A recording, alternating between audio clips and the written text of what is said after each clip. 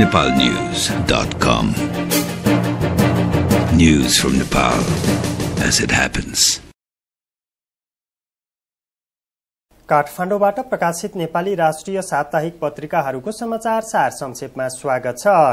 दुई हजार अडसठी साल चैत्र पाँच गते आइतबारदेखि सात गते मंगलबारसम्म प्रकाशित साप्ताहिक पत्रिकाहरूले पछिल्लो समयमा विकसित भिन्न भिन्न घटनाक्रमहरूलाई प्रमुखताका साथ प्रकाशित गरेका छन्। कुशासनको अनुप नमुना भट्टराई शीर्षकको समाचारमा आइतबार प्रकाशित देशान्तर साप्ताहिक लेख्छ माओवादी उपाध्यक्ष डाक्टर बाबुराम भट्टराईको सरकार इतिहासमै भ्रष्ट कुशासन र आफ्नै मन्त्री र प्रशासक बीच सामान्य तालमेल समेत गराउन नसक्ने अत्यन्त कमजोर रूपमा देखा परेको छ।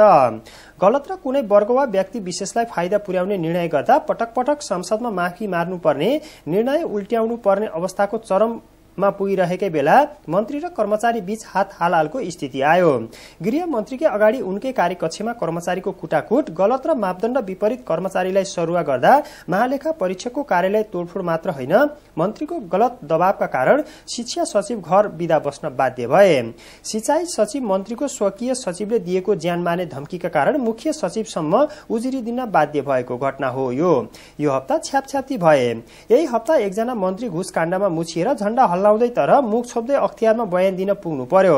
हदसम्मको यस घटनाहरू यसअघि कहिले भएका थिएनन् त्यसमाथि एक नेता पुत्रको लहरलाई पूरा गर्न राज्य कोषबाट एकमुष्ट दुई करोड़ रुपियाँ निकासा दिने निर्णयले त शहरमा आगो झोस्ने काम गर्न थालेको छ।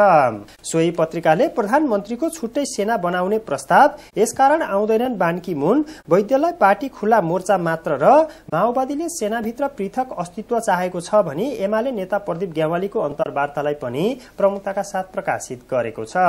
एमालेको माओवादीलाई साथ दिने अल्टिमेटम शीर्षकको समाचारमा आइतबार नै प्रकाशित छलफल साप्ताहिक लेख्छ शान्ति प्रक्रियालाई सत्ता बार्गेनिङ कार्डको रूपमा प्रयोग गर्दै आएको माओवादीले शान्ति प्रक्रिया टुङ्ग्याउने काममा गतिरोध उत्पन्न गर्दै आएको छ। शान्ति प्रक्रियाको गतिमा यो वा त्यो बखेडा खडा गरेर ढिलाइ गर्दै आएको माओवादीले फेरि पनि शान्ति प्रक्रिया अगाडि बढाउने सवालमा गतिरोध उत्पन्न गरेको छ। पटक पटक दलहरू बीचमा भएको सहमति कायम गर्ने तर त्यसरी कायम गरेका सहमतिहरू माओवादीले कार्यान्वयन नगरेकै कारण शान्ति प्रक्रिया र संविधान निर्माणको काममा ढिलाइ भएको हो। पछिल्लो पल्ट दलहरूका बीचमा भएको सातबुधे सहमति माओवादीले कार्यान्वयन नगरेकै कारण सेना समायोजनको काममा गतिरोध उत्पन्न भएको हो। माओवादीको पेलाहारा हेपा प्रवृत्तिकै कारण शान्ति प्रक्रिया फेरि पनि जाममा परेकाले अविलम्ब शान्ति प्रक्रिया अगाडि बढाउन एमाले एक साताको अल्टिमेटम दिएको हो। तलब नदिदी जनमैत्री अस्पतालमा तडपाइँदै शीर्षकको समाचारमा सोमबार प्रकाशित साँगु साप्ताहिक साप्ताहिक लेख्छ एकीकृत माओवादी नेता जनार्दन शर्माले बिक्री गरेको भनिएको जनमैत्री अस्पतालका डाक्टर नर्स कर्मचारीहरूले विगत लामो समयदेखि तलब समेत पाएका छैनन्। नयाँ लगानीकर्ताका रूपमा भित्रिएकाहरूले पनि उनीहरूलाई तलब दिन मानिरहेका छैनन्।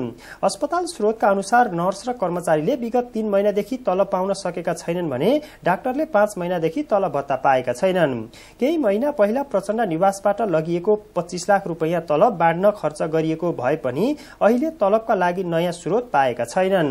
सोही पत्रिकाले वंश विकासमा प्रचण्ड पदको विसर्जन भावी प्रधानमन्त्रीमा कसको भाग्य जंगी अड्डामा किन आए बाह्र हजार हतियार राजस्व मार्नेलाई महानिर्देशकको साथ जित खैनीसँग साठी लाख भोजन शीर्षकका समाचारलाई पनि प्रमुखताका साथ प्रकाशित गरेको छ।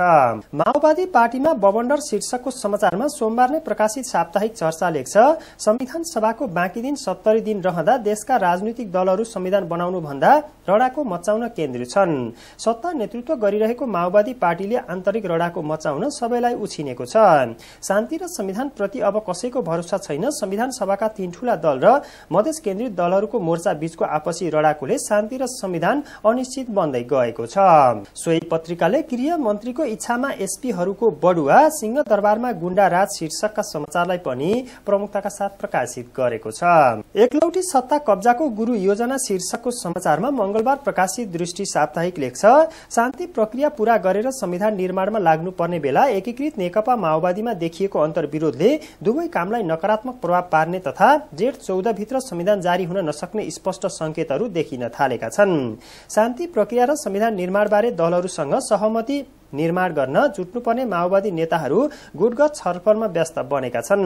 राष्ट्र प्रमुख एजेण्डाहरूलाई ओझेलमा पार्ने गरी सड़क प्रहसनको शैलीमा थालिएको माओवादी विवादले माओवादी नेताहरू कतै शान्ति प्रक्रियालाई नटुङ्ग्याउने संविधान बन्न नदिने र जेठ चौधपछिको अस्तव्यस्ततामा जनविद्रोह गरी एकलौटी सत्ता कब्जा गर्ने गुरु योजनामा लागेको त होइन भन्ने आशंका दिन प्रतिदिन बढ्दै गएको छ।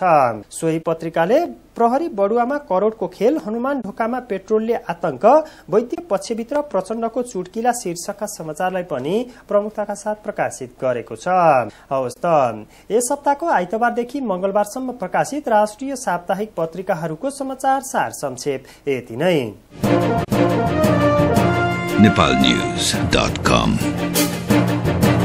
News from Nepal as it happens.